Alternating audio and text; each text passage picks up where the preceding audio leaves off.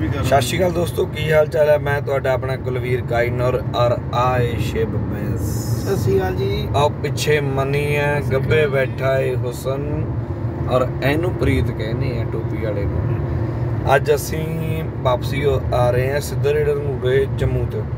ਔਰ ਮੈਂ ਜਾਣਾ ਹੈ ਗਗਰੇਟ ਦੰਗਲ ਦੇ ਵਿੱਚ। ਸ਼ਿਵ ਚੱਲਿਆ ਹੈ ਕੋਟਲਾ ਸ਼ੁਕੂ ਦੇ ਦੰਗਲ ਦੇ ਵਿੱਚ। ਔਰ ਦੋਨੋਂ ਦੰਗਲ ਵਧੀਆ ਹੋਣੇ ਆ। ਮੇਰੇ ਦੰਗਲ ਦੇ ਵਿੱਚ ਕੁਸ਼ਤੀਆਂ ਹੈਗੀਆਂ ਪ੍ਰਿਤਪਾਲ ਫਗਵਾੜਾ, ਮਿਰਜ਼ਾ ਈਰਾਨ ਗੌਰਵ ਪੁੱਜੇਗਾ ਉਨੇ ਵਾਲਾ ਇਸੇ ਤਰ੍ਹਾਂ ਥੇਦੋ ਆ ਜਾਰਜੀ ਵਾਲਾ ਸੋਨੂ ਕਾਂਗੜਾ, ਲਵਪ੍ਰੀਤ ਕਰਨਾ ਔਰ ਟਰੱਕ ਯੂਨੀਅਨ ਜਿਹੜੀ ਹੈ ਗਗਰੇਟ ਵਾਲਾ ਦੰਗਲ ਕਰਵਾ ਰਹੀ ਹੈ। Truck union Gagret.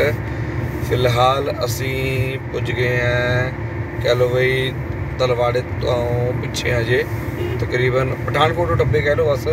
ਤੇ ਥੋੜੇ ਟਾਈਮ 'ਚ ਅਸੀਂ ਪਹੁੰਚ ਜਾਣਾ ਅੱਜ ਦੰਗਲ 'ਚ। ਔਰ ਲਾਈਵ ਤੁਸੀਂ ਜਿਹੜੇ ਦੋਨੋਂ ਦੰਗਲ ਦੇਖ ਸਕਦੇ ਆ, ਪੰਜਾਬੀ ਲਾਈਵ ਟੀਵੀ ਤੇ, ਠੀਕ ਹੈ ਜੀ?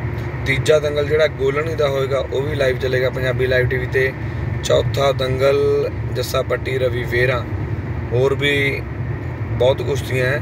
ਸਾਡਾ ਸੰਗਾ ਵੀਰ ਪ੍ਰੀਤ ਸੰਘਾ, ਸਕਰੂਲੀ ਪਿੰਡ ਹੈ, ਆਪਣੇ ਪਿੰਡ ਦੇ ਵਿੱਚ ਦੰਗਲ ਕਰਵਾ ਰਿਹਾ ਹੈ। ਜਿਗਰੇ ਪੰਜਾਬੀਆਂ ਦਾ ਫੇਸਬੁੱਕ ਪੇਜ ਚੱਲਦਾ ਜਸਵੀਰ ਦਾ। ਉਹਦੇ ਪਿੰਡ ਜਿਹੜਾ ਦੰਗਲ ਹੈ, ਸਕਰੂਲੀ।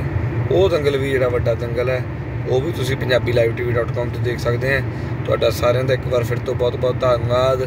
ਮਿਲਦੇ ਆ ਬਹੁਤ ਦੇਰ ਬਾਅਦ ਵੀਡੀਓ ਪਾਈ ਹੈ, ਤੇ ਜਰੂਰ ਲਾਈਕ ਕਰਨਾ ਸ਼ੇਅਰ ਕਰ ਸਕਦੇ ਆ ਸ਼ੇਅਰ ਵੀ ਕਰ ਦਿਓ ਕਮੈਂਟ ਕਰਨਾ ਕਮੈਂਟ ਵੀ ਕਰ ਦਿਓ ਭਰਾ ਮੇਰਿਓ ਬਾਕੀ ਤੁਹਾਡਾ ਸਾਰਿਆਂ ਦਾ ਇਦਾਂ ਹੀ ਪਿਆਰ ਮਿਲਦਾ ਰਿਹਾ।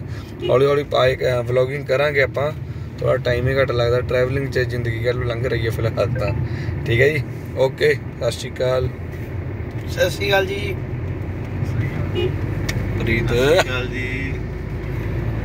ਇਹ ਪ੍ਰੀਤ ਖੁਸ਼ ਰਹਿੰਦਾ ਪੂਰਾ।